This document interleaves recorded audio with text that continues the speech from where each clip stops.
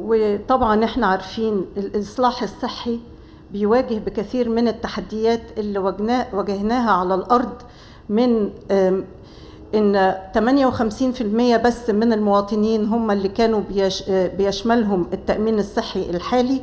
والحقيقة آه، الإقبال على تقديم أو ال- الأخذ الخدمة من التأمين الصحي الحالي لا تتجاوز 12% من المنتفعين.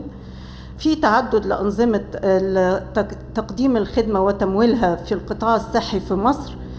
في إنفاق من الجيب للمواطن وفي وما فيش ميكنة ولا ملف طبي لأي مواطن ممكن. ده كان الوضع قبل التأمين الصحي. ولكن آه، برؤية القائد إن يبقى في تأمين صحي شامل اشتغلنا. وإن شاء الله آه، برنامج التأمين الصحي الشامل ومنظومة التأمين الصحي الشامل تستهدف لأنها تشمل 100% من المواطنين.